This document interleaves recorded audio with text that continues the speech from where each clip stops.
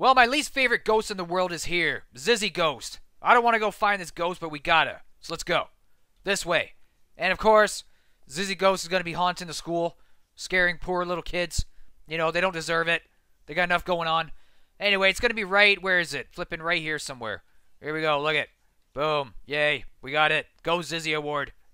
Boom. Okay. Now go here, and we can go check it out. Excuse me. Whoa, watch there with your flashlight. I got a, I got a flashlight too. The fla I do like the effects on the flashlight. I must say. Hey, you, pull over. I got my lights on you. Ghost Zizzy. Perfect. Yes. Oh, look at I like how it's translucent. Look at that. And the way like it actually affects the back like it's not just normally translucent if that makes sense or transparent. Translucent or transparent?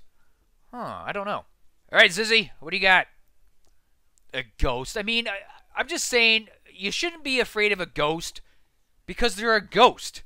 They have no physical. You can, they're not solid anymore. Like I mean, they can't do anything to you. Seriously, they can't. Don't be afraid of ghosts if you are, okay?